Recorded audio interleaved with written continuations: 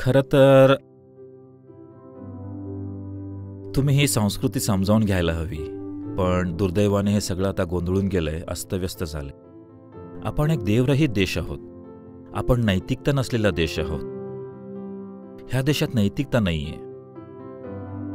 आपण असं जगू शकलो आणि खरोखर उत्तमरित्या जगू शकलो कारण आपली जाणीव प्रचंड प्रमाणात प्रगत झाली होती. प्रत्येक गोष्ट ती जशी आहे तशीच आपण पाहू शकलो. लोक मानवी जाणीवेतून जीवन जगत होते. नैतिकतेतून नव्हे शिक्षा होईल या भीतीतून नाही. फक्त जाणीवेच्या संवेदनशीलतेमधून. तर या प्रकारच्या सामाजिक रचनेमुळे कोणतीही गोष्ट आपल्याला हवं तिथं आपण बोलू शकलो आणि काहीच हरकत नव्हती.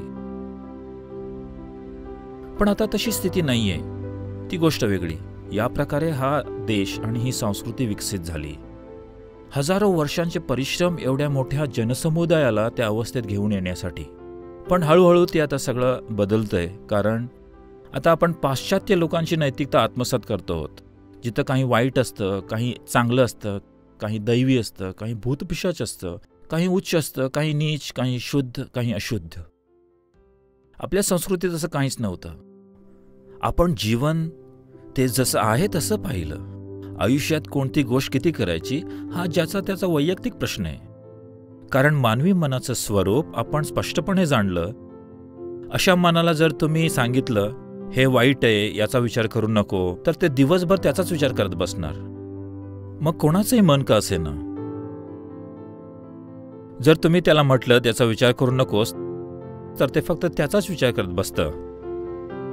ज्या लोकांना मानवी मनाचं स्वरूपच कळलं नाही त्यांनीच आयुष्यात नैतिकता आणली. ज्या लोकांना मनाचा ठाव लागला ते जसं आहे तसं म्हणून आपल्या संस्कृतीत आपण कधीच काही बरं आणि वाईट असं वर्गीकरण केलं नाहीये.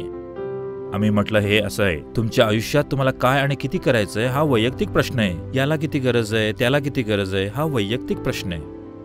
पण आता पाश्चात्य डॉक्टर्स आपल्याला सांगतायत प्रत्येकानं अमुक कॅलरीज खाल्ल्याच पाहिजेत. हा सरासर मूर्खपणा आहे. शरीर असं कार्य करत नाही. जर तुम्ही खाल्लं समजा तुम्ही दोघं प्रत्येकी एक किलो एवढं अन्न खाता एकाच प्रकारचं अन्न समान प्रकारचं पोषण. दोघांचं वजनही एक समान आहे. असं समजूया. दोघांचंही वजन एक समान आणि दोघंही एक किलोभर अन्न खाता पण दोघांनाही ते एक समान पोषित होत नाही. एका व्यक्तीत ते पूर्णपणे पोषित होतं आणि दुसऱ्या व्यक्तीत फक्त अर्धा किलोच पोषित होतं. आणि तरीही ते आपलं वजन शाबूत ठेवतात. हे खरं आहे. तुम्ही ट्राय करून बघा. दहा जणांवर प्रयोग करून बघा. हे सत्य आहे. पण आता ते तुम्हाला सांगतायत कारण सर्व काही प्रचंड प्रमाणात उत्पादन करतायत. ते माहिती आहे का तुम्हाला? प्रत्येकाने इतक्या कॅलरी अन्न खाल्लंच पाहिजे. तेव्हाच तुम्हाला इतकी ऊर्जा मिळेल. हा सरासर मूर्खपणा आहे.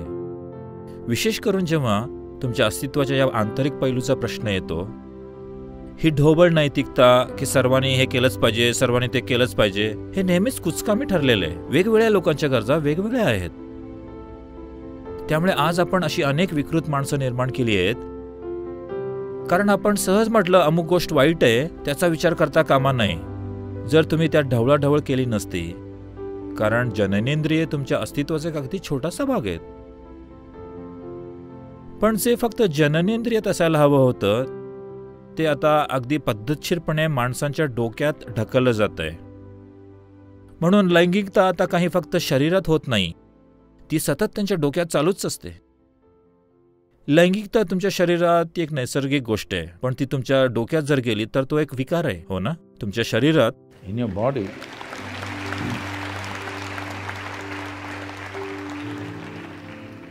ती एक नैसर्गिक क्रिया आहे. आपण सर्वजण त्याच क्रियेतून जन्माला आलो आहोत. ते काही चूकही नाही आणि बरोबरही नाही. आपल्या अस्तित्वाचा तो एक केवळ छोटासा भाग आहे. आपण जर त्याला दाबून ठेवलं तर ते आपल्या डोक्यात शिरणार आणि मग असं वाटतं ते जणू काही आपल्या आयुष्याचा केंद्रबिंदू आहे. आज मी म्हणेन माझ्या टक्केवारीत अतिशयोक्ती असेल तर सांगा. आज मी म्हणेन पंच्याण्णव टक्के मानवी ऊर्जा एकतर सेक्समध्ये किंवा पैसे कमावण्यात गुंतवली जाते होय की नाही? These are two small aspects of your life. तुमच्या आयुष्याचे हे दोन छोटे पैलू आहेत एक जगण्यासाठी आणि दुसरा प्रजननासाठी. पण आता तो एवढा मोठा झालाय कारण कुणीतरी तुम्हाला सांगितलं की ह्या दोन गोष्टी वाईट आहेत. आपण कधीही त्यांना त्या दृष्टीने पाहिलं नाही म्हणून कुणीतरी त्यावर ग्रंथ लिहिला. लैंगिकतेचे वेगवेगळे मार्ग लोकांच्या शरीराचे प्रकार दोन व्यक्तींमधील शारीरिक अनुकूलता. कुणीतरी सर्व काही सविस्तरपणे लिहून काढलं. कारण त्यांनी कधीच असा विचार केला नाही की हे विकृत अश्लील पोर्नोग्राफी आहे. कळतं का तुम्हाला? हे फक्त जीवनाचं वर्णन करतायत ते जसं आहे तसं. तर आजचे लोक कामसूत्र म्हणजे अश्लील पोर्नोग्राफीसाठी अधिकृत मान्यता मांडतात ओके? नाही ते तसं नाहीये. ते सहज यावर चर्चा करतायत जशी त्यांनी इतर अनेक विषयांवर केली आहे कारण ही सुद्धा इतर विषयांसारखी आणखीन एक गोष्ट आहे. ही काही त्यांच्यासाठी सर्वस्वी एकमेव गोष्ट नव्हती. त्यांच्यासाठी ही आणखीन एक गोष्ट होती. म्हणून त्यांनी ते तसं लिहून काढलं. जशी तुमची फिजिक्स केमिस्ट्रीची टेक्स्टबुक्स आहेत तसंच त्यांनी सेक्सचं सुद्धा पुस्तक लिहिलं. त्यांनी त्याला फार महत्त्व दिलं नाही. पण आजच्या युगात लोक कामसूत्राकडे त्यांच्या सर्व विकृतींना अधिकृत मान्यता म्हणून पाहतात.